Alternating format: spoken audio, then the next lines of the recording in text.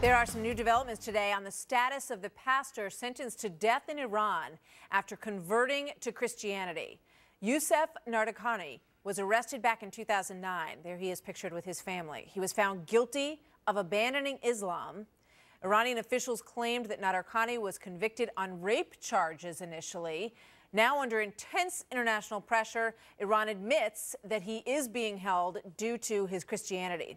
Jordan Sekulow is the executive director of the American Center for Law and Justice, and he joins me now. Jordan, welcome.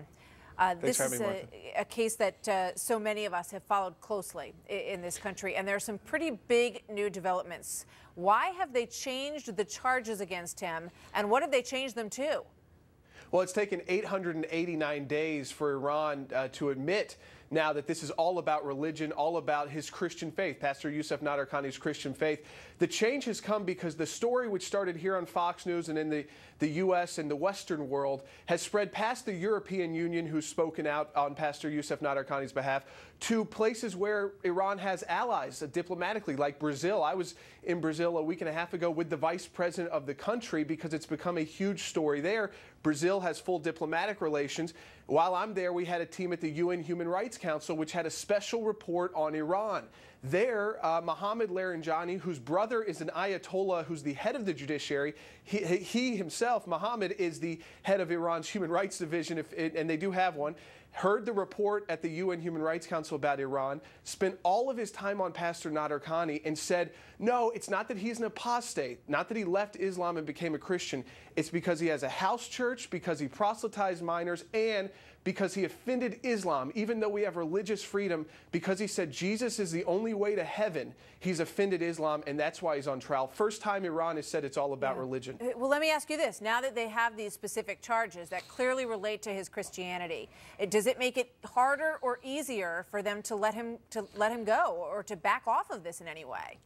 I think it makes it a little bit easier from the back off because of what you've got now. It's not just ACLJ and our European affiliates, and not just the West. It's not just the White House, the State Department, or Europe, but it's countries that Iran relies on diplomatically and economically. Brazil cannot be lied to again. They did lie to the government of Brazil. We had a document given to us by a senator saying this had nothing to do about Nadarkhani's faith. He's not even a pastor. So the key is they still won't admit it's apostasy, and they still will not admit it's a death penalty. But we've got countries now engaged, like Brazil, like the Netherlands, who are making sure he's alive every day. They've requested to go to Tehran to meet with Pastor Nadarkhani. It's a huge development as the case continues to gather now international attention from governments, which is huge. I mean, we genuinely hope that they will give that opportunity for some of these countries to visit him, to verify, uh, you know, his well-being. There's a lot of arrests, though, of Christians going on in Iran. And do you Absolutely. think that this is, you know, going to put the spotlight more squarely on this issue and the pressure uh, on Iran and those other Christians who are being held in that country?